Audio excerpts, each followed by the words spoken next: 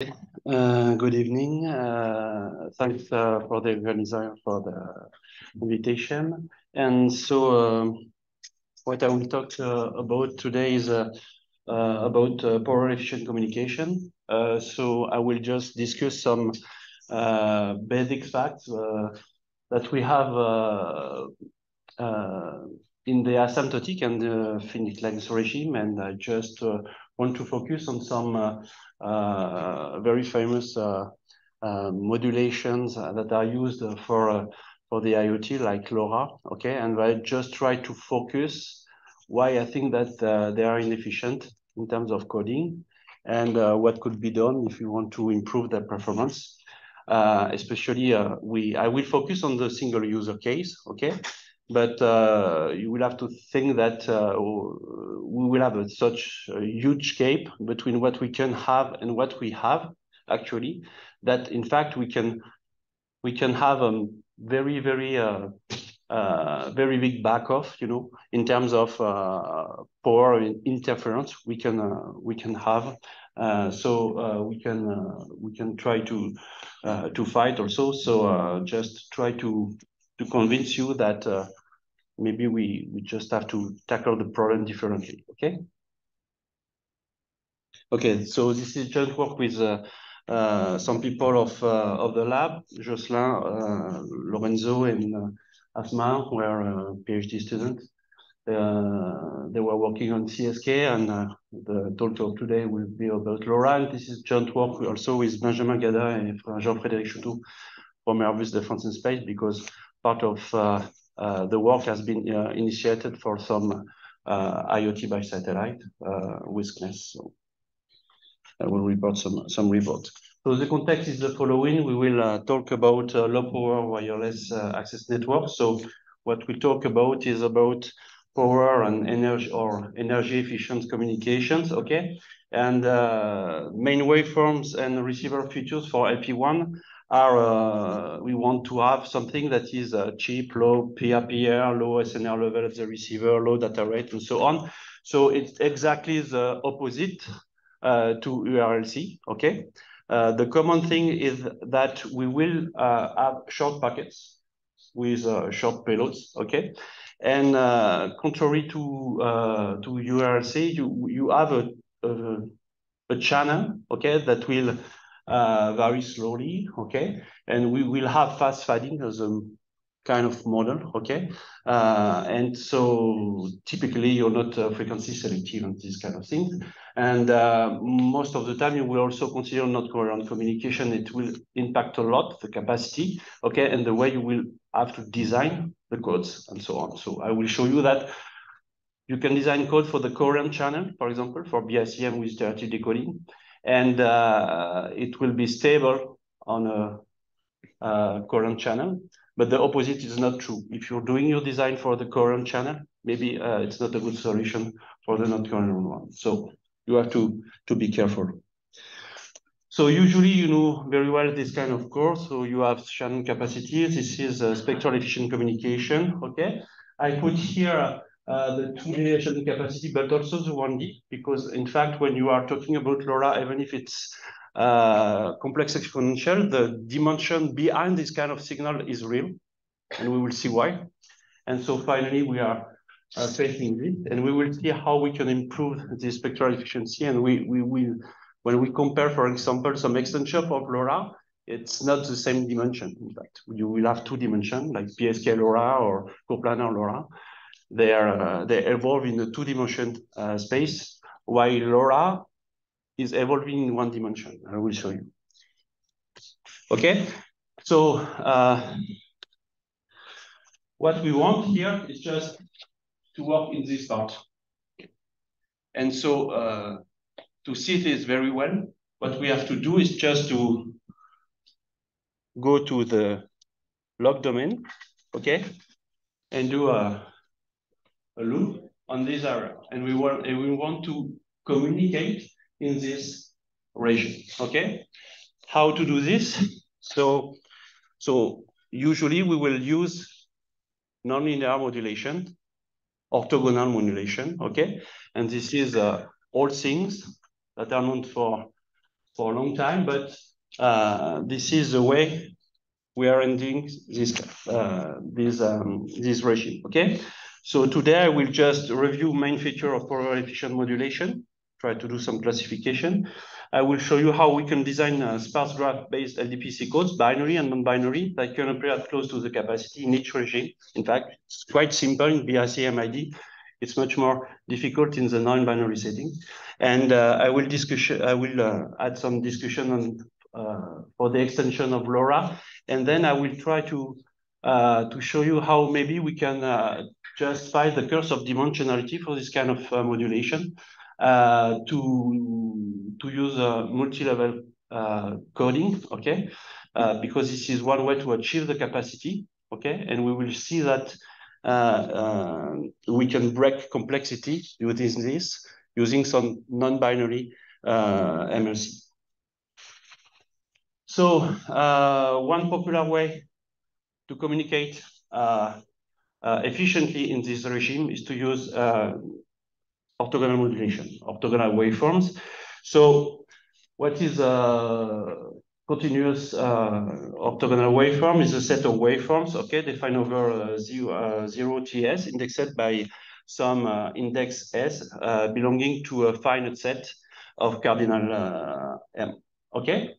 And uh, so you can define as uh, inner product and you have this uh, Dirac function. So it's very simple. You have the digital orthogonal waveform, the digital counterpart, okay, where you have two vectors, okay, uh, over Cn and uh, or Rn, and uh, you have this inner product, which gives you um, an orthogonal basis.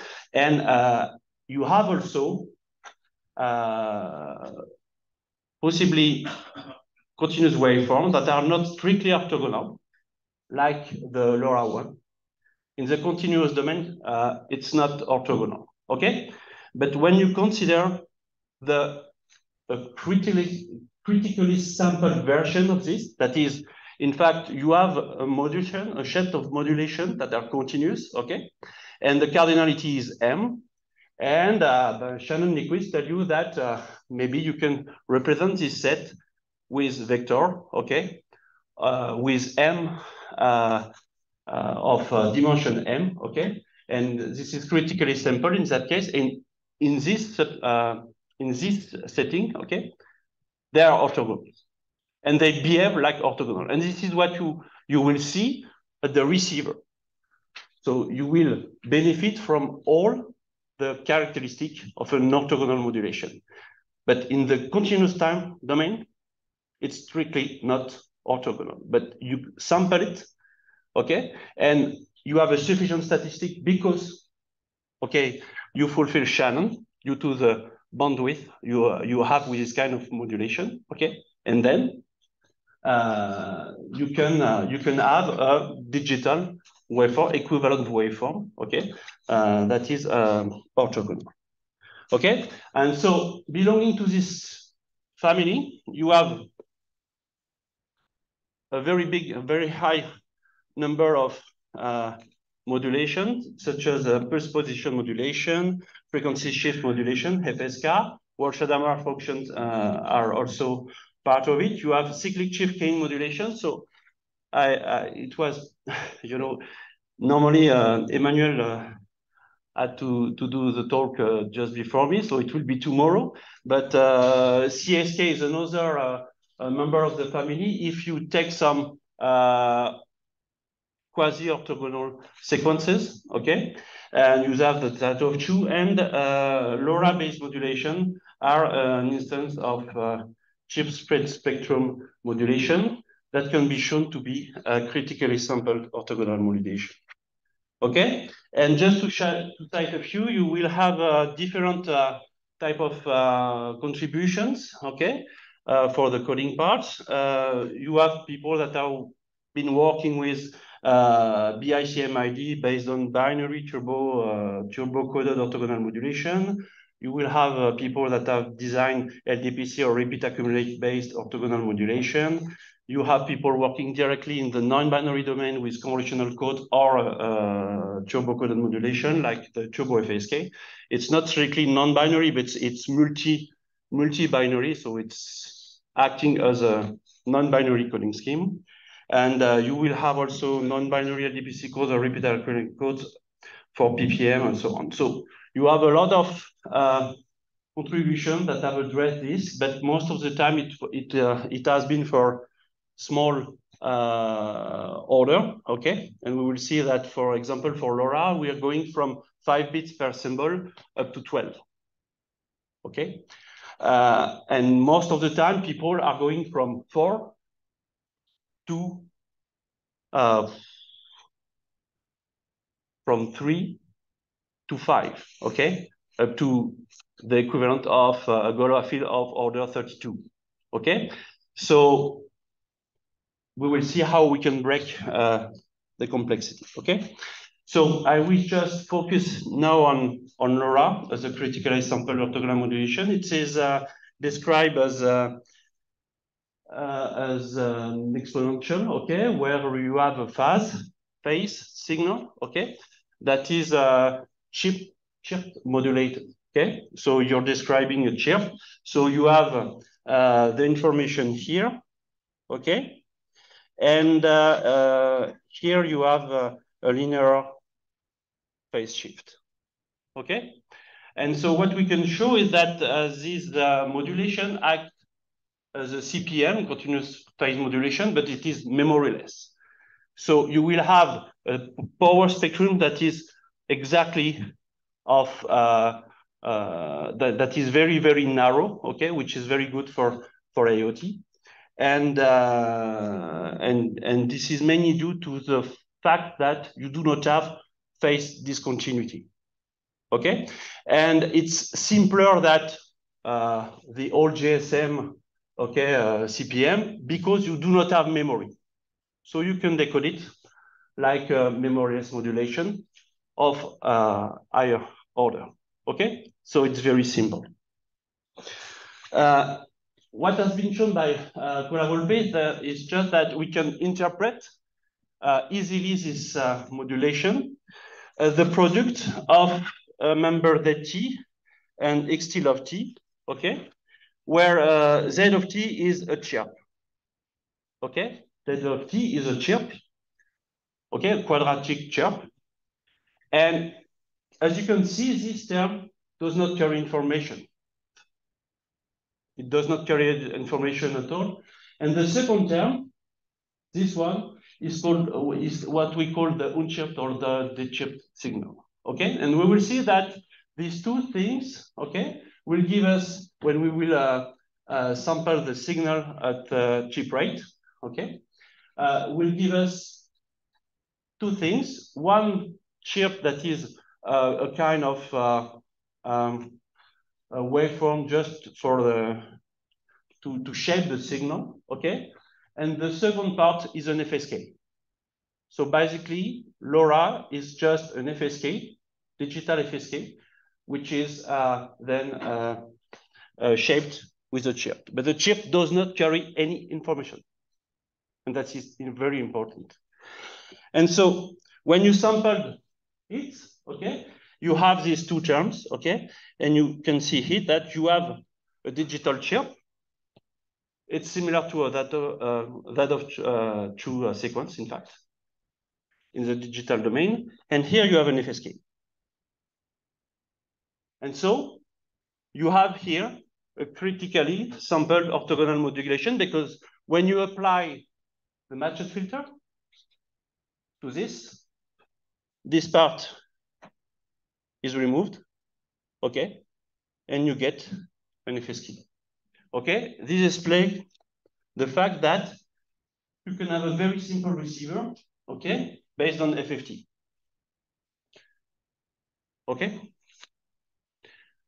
So the equivalent signal we have to deal with is the following, is given by equation two, where we have one vector, okay, of size m, here you have the channel. X of n finally is a vector with all zero except one position. Okay, so it's an orthogonal. It's a it's a vector of uh, orthogonal basis. Okay, plus uh, wn, which is a white noise. And so you have an orthogonal modulation. And then you can apply classical uh, uh, soft decoding, okay, in the coherent case and uh, in the non-coherent regime, and you can use all you know about uh, orthogonal modulation. Okay, so this is very simple.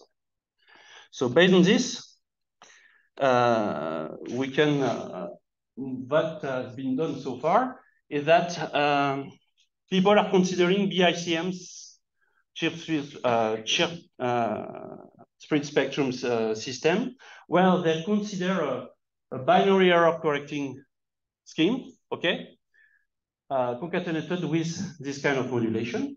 And in the standard, it's an code. Okay, so it's very basic. It's a very, very, very simple, but very inefficient in terms of coding. Okay, so the question now is, uh, can we characterize the asymptotic uh, capacity and the capacity in both cases, the coded modulation capacity and the BICM capacity, okay? And so this is very simple, you just have to compute the mutual information.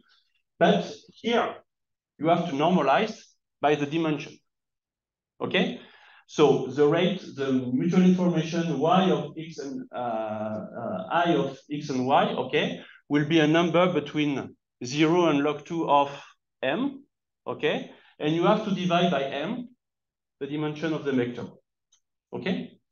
And plus you have some kind of, uh, it's not a roll-off factor, but it's a, um, uh, it's an efficiency term, okay, in terms of bandwidth.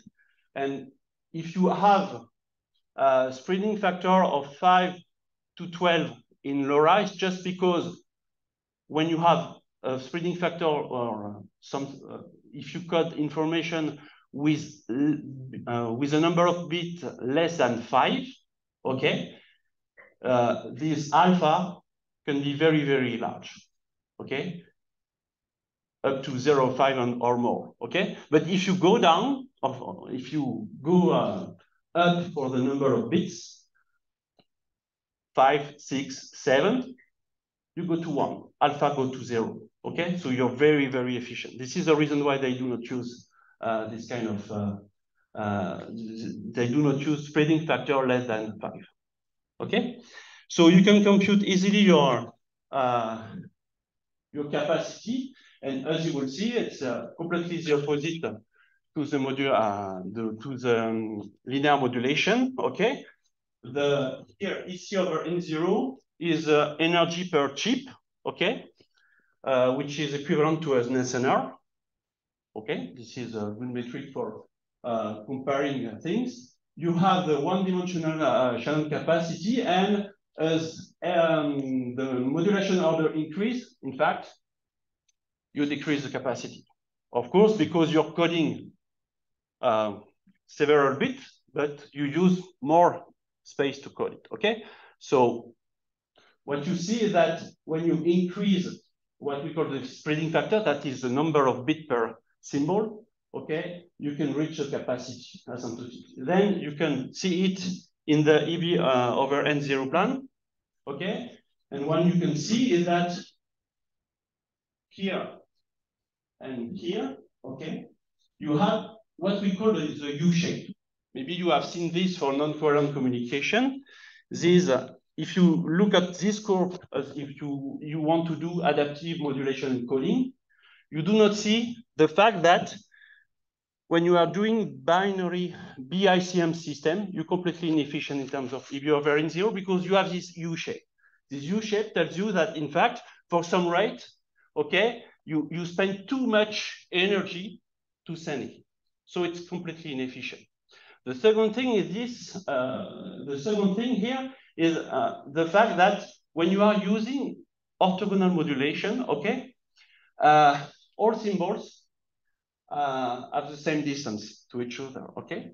And uh, uh, a consequence is that the binary mapping to symbol does not have impact on the performance. You can take any mapping.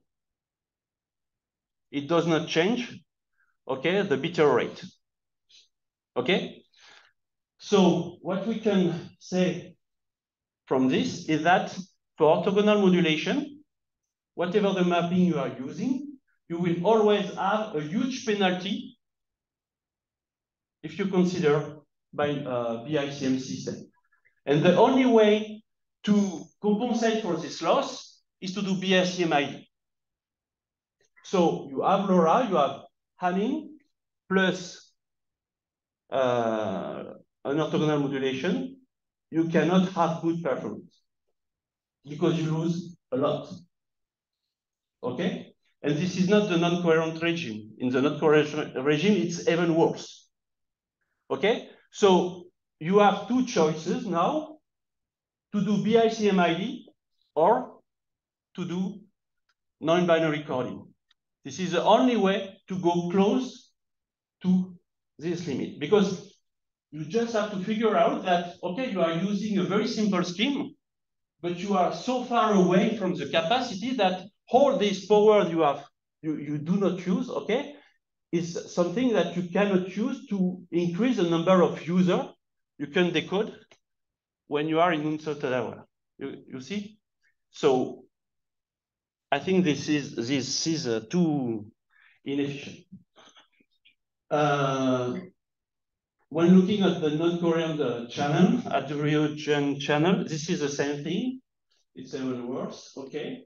Uh, here you, you have also, uh, you have this U shape, what we call the U shape. It shows you that when you communicate in the non-coherent setting, okay, there are some rates for which uh, it's useless to communicate. And usually you have to consider high rate, okay? So all these rates have to be avoided, okay? In the communication setting. When you do it, and if you look only on this, and most of the time people want to do adaptive and modulation, they, they are looking at these things, okay? But it's not efficient. You have to be careful. You have to consider this. Okay? So this is just a focus, just to show you the penalty you have, okay? When you are going from the coherent to the non-coherent regime, okay? And you and you see that uh, the penalty you have in BI for BICM system without iterative decoding is huge, okay? So now let's go to the finite length regime. Okay, to do that, because it's not that simple, uh, you, you can do some uh, normal approximation, but uh, a very simple way to compute some uh, bounds is to use the random coding bound from Gallager. It's very simple, very efficient. Okay, you have a penalty, but you get all the flavor, you know, of what you have to do. Okay, so here I have plotted, uh, I have fixed uh, a probability of error. Okay, I took n equal to really uh, uh, 256 um, uh, octet and uh, 66 octet. Okay, and I was looking for uh, the behavior of the random coding. Okay, how what is the maximum rate at which I can communicate to uh, to reach 10 to the minus four in this example. And what you can see that this is exactly what you you said you have a penalty, okay, for low rate at finite lengths. It's really better to communicate here. For example, almost all these points, it's rate one half or just below and upper. Lower, forget. And uh, so this is very, very interesting to, to see this because you have this U shape and this tell you that in some somehow that there are some strategies that are totally inefficient in terms of uh, energy efficiency. And for this kind of thing, we want to be efficient in terms of energy, okay? And so here, this is just a zoom, okay, where I plotted the normal approximation, which is more, uh, and uh, it's very simple to compute a normal approximation for this. Uh, but, uh, and uh, you have this kind of, okay? You see the point? So you, we have to have this in mind, and so we, we want now to design scheme that can operate close to this to this limit. Okay, so uh, this is uh, the, the, coherent versus non-coherent. You will have the same thing and so on. So it's quite uh, interesting to see how it's uh, it evolves with the length and the fact that the coherent and non-coherent can overlap in somehow. Okay, so now I, I want uh, just to show some basic results we have on the design and what we can try to do uh, if we want to design binary and non-binary LDPC code in this kind of regime. And I will show you how uh, we can perform compared to, to existing schemes. So uh, what we will consider is the optimization of uh, LDPC code, binary LDPC code first, uh, that are doing iterative decoding with uh, the soft demapper. Okay, and the, the, the idea here is to optimize the structure of the code. Okay, so it will not give you good code. You are designing a BICM with ID, so it's just joint code and modulation. Okay, if I take one code that I will optimize and I send to you and you use it on MATLAB, it will be catastrophic, but it's normal. Okay, when you want to optimize binary LDPC codes for iterative decoding, usually you are tending to cycle codes, which are very, very bad codes, okay? But they're very efficient, okay? To try to denoise, okay? Uh, uh, in, it, uh, in an iterative way, okay? So do not try to use it uh, alone. It will not work at all. So what is a, a bin uh, binary DPC code? Bin uh, binary DPC codes are defined by sparse matrix, okay? They can be uh, represented using Tanner graph with two set of nodes, okay? Uh, variable node and check nodes. And uh, what we want to optimize is in fact the connectivity of the graph, okay? During iterative decoding. So I just skip the details before and I just show you that this is a Tanner graph of what we want to optimize. And what we want to optimize is the average connection of this, of the lower parts, okay? And so the, the, the, the parameter of the optimization is uh, the distribution of these edges and the distribution of these edges, okay? Yes. And if I'm just uh, taking uh, an EXIT chart approach, so I'm tracking the mutual information into the decoder and put it into equation, I can linearize, in fact, the decoder for some uh, fix, for example, I'm fixing uh, the dist this distribution. I can set up a linear program, okay, and I can optimize uh, the density of the code asymptotically, of course. And then uh, I can, in fact, try to find the capacity achievable by this kind of codes asymptotically. Okay? And so this is what uh, what we we end up. So this is uh, uh, one example. So here uh, you have uh, the we can opti we have optimized. So this is not a non-structured. This is a binary protograph. Okay, we put structure and we we can extend the results, and we we we we can end up with a, a, binary string that is operating close to uh, to the capacity. Okay, and what I've uh, I put here uh, uh, okay, what I put here is the fact that um, here you have the operating point of the LoRa standard, okay, using hard decoding. So I want to be fair. So I can use soft decoding because you are you can use soft decoding for the Hamming code. Okay, and as you have a diagonal interleaver, in fact, you can do turbo decoding. It's not optimized as this, but some people have proposed to do uh, LoRa soft iterative decoding. And so this is all the operating point, and what you can see is that you are far away from the capacity. And uh, uh, if you have so far, okay, this is uh, a suboptimality in the multi-user context, okay? And uh, but you have good candidates still that have been proposed. For example, Turbo FSK by uh, by uh, CEA. Okay, they have proposed a, a turbo coded uh, FSK that are uh, operating quite quite well. Okay, the, the main difficulty is that it's uh, they they have a parallel turbo code structure. Okay, which is not that easy uh, to handle in terms of uh, rate adaptivity. Okay. So what can I say? I can zoom. Okay. So if you want to be more uh, strategic, we can do better than uh, uh, uh a simple LoRa. Just to try to, to show you uh, all the um, microcosm of uh, IoT, okay, putting everyone, okay. I, I hope that everybody is here, okay. Uh, what I can show you is that uh, we can do better with a simple convolutional code, in fact, and do iterative encoding. And it's clearly suboptimal because you will have, a, you will have error floors uh, because uh, I can skip the detail, but, uh, but still it will work very well. And what you see is that the BICM capacity here really limits your system and you have to iterate to close the gap. Okay?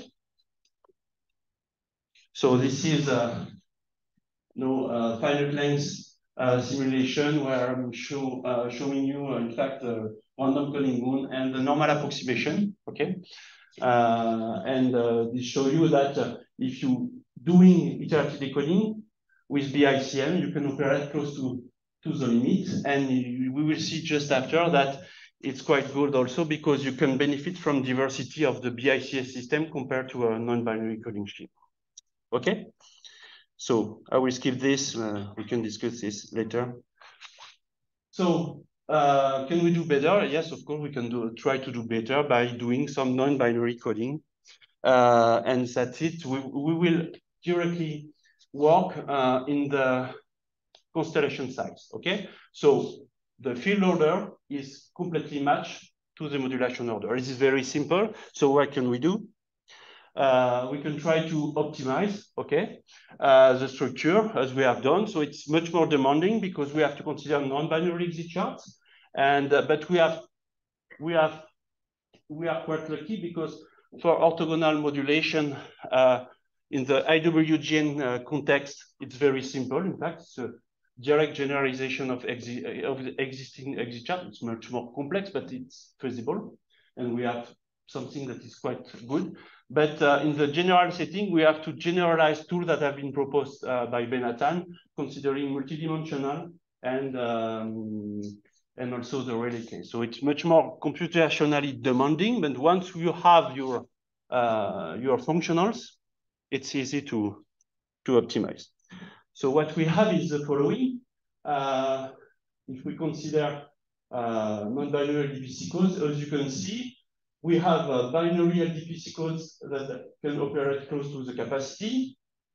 And um, if we are uh, considering regular non-binary LDPC codes, uh, that is cycle codes, which are uh, usually the, the codes that are considered as sufficient because in fact, for non-binary LDPC codes, you do not need much more irregularity compared to binary LDPC codes. Uh, you can see that you can have a huge penalty.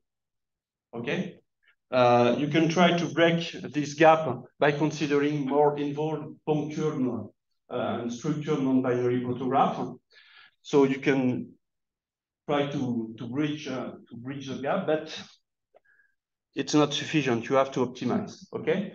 And in EB over N0, if you optimize, you can have uh, 0 0.75 uh, uh, improvement, okay? Uh, but you still have some small penalty in, in terms of uh, uh, capacity for the Rayleigh fading channel, okay? So what I try to, to convince you is that on the AWGN channel, it's almost everything is simple. And if you are going to the Rayleigh fading channel, which is a a very common channel for this kind of application, it becomes very difficult. Okay, and finally, binary LDPC codes with uh, iterative decoding are performing quite well due to the fact that you, you have an, an additional uh, diversity uh, that you can gain, okay, going to the bit level, even if you have to do uh, iterative decoding, okay? So this is uh, what we can get if we uh, look at the finite length simulation, you, what you, you see is that for the AWGN channel, we are quite close to the fundamental limit. Okay, we, we if we work well, for this, for rate one half, we always are in the backdrop of 0 uh, 0.5 uh, uh, dB from the normal approximation, okay? So it's not the random coding bound and the, and the converse, but it's it's still good. And you have the right the the performance, okay, for the regular setting. So just to conclude, uh, so you can extend it to PSK LoRa, okay?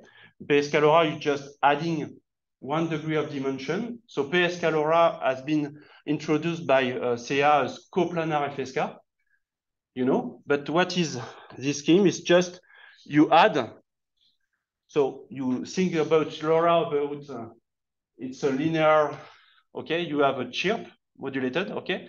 So you have uh, a polynomial, you have a, an affine, here you have an affine, and before you have a linear modulation. You have a linear uh, uh, shift uh, for the for the phase. And here you have an affine. you, you add an affine term here.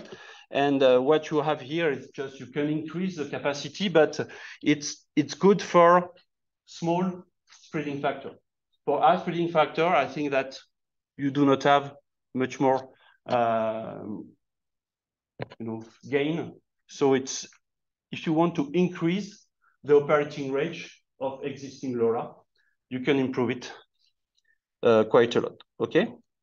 And so I will just finish with this as a perspective.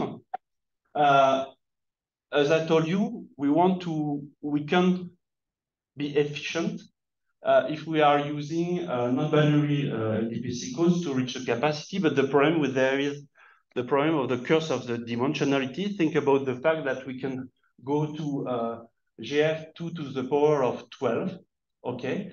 And so it's huge. It's completely, it's, the complexity is very high and we cannot afford this. So one of the possibility is to use multi-level coding, okay?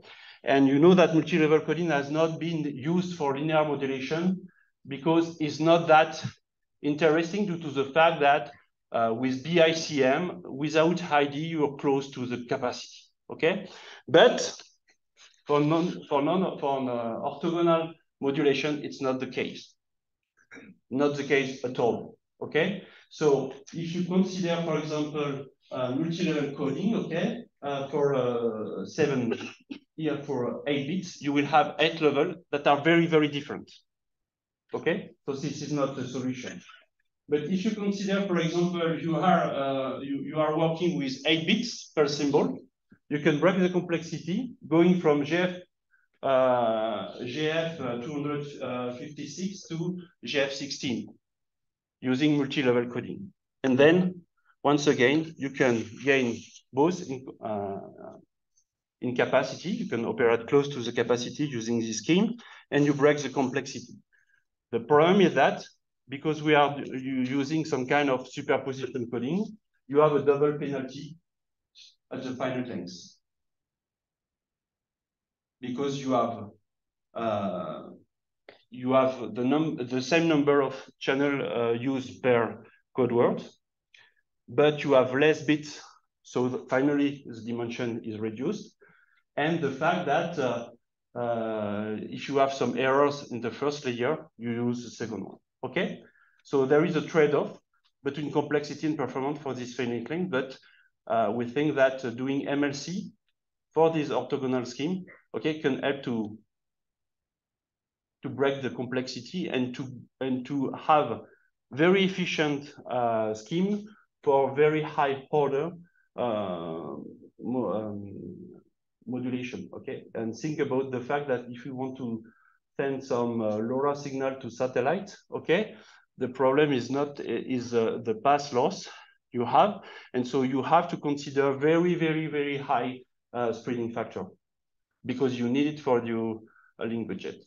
And so if you want to be to operate close to the capacity, you have no choice. Okay, so I try.